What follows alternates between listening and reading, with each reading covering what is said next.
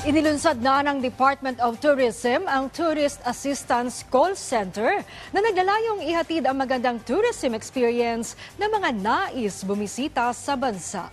Ang detalye sa ulat ni Rod Lagusa.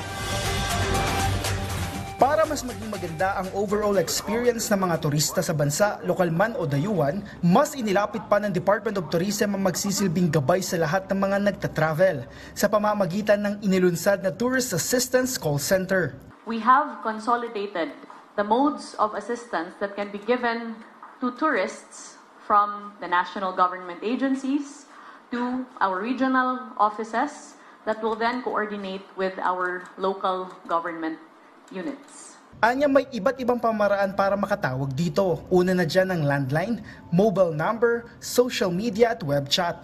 Maaring makita ang paraan o numero para makatawag sa website ng DOT.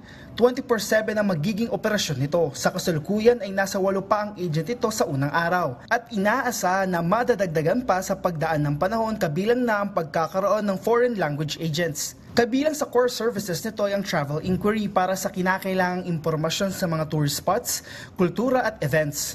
Accreditation guidance para malaman ng accredited tourism services sa bansa, travel assistance para naman sa transportasyon at accommodation, complaint resolution para sa mga koordinasyon ng mga complaint o reklamo sa mga concerned government agencies at sa emergency assistance sakaling kailangan ng tulong ng turista tulad ng numero na kanilang kailangang tawagan.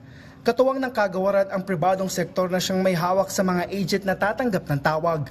Our tourist assistance agents, as we call them, have been trained on the aspects of answering queries with regard to tourism accreditation, tourism complaints, local policy inquiries, destination policies, nearest establishments, landmarks, and other locational or logistical questions.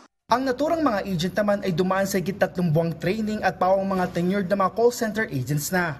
Sa tanong kung bakit di artificial intelligence o AI ang ginamit para dito, The best asset of Philippine tourism is no other than the Filipino people.